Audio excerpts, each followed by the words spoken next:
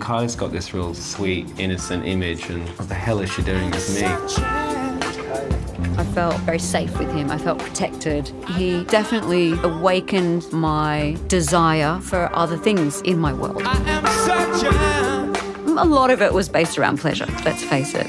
It opened up a whole new world for me, it really did.